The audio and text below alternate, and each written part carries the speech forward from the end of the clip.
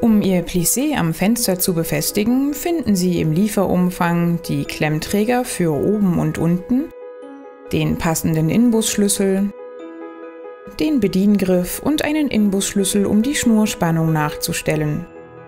Schieben Sie im ersten Schritt den Bediengriff auf die Halterung an der Bedienschiene des Plissés. Markieren Sie sich dann die Position des Plissés am Fenster. Wenn Sie nun die unteren Klemmträger anbringen, bedenken Sie, dass diese später bündig mit dem Plissé abschließen.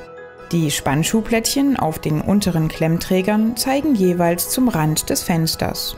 Bringen Sie die Klemmträger also in Position und fixieren Sie sie mit Hilfe des Inbusschlüssels. Die Klemmträger für die Befestigung der feststehenden Oberschiene werden vor der Montage am Fenster am Plissé befestigt. Mit einer Kippbewegung und leichtem Druck rasten diese an der Plissé-Schiene ein. Hängen Sie nun das Plissé am Fenster ein und fixieren Sie auch die oberen Klemmträger.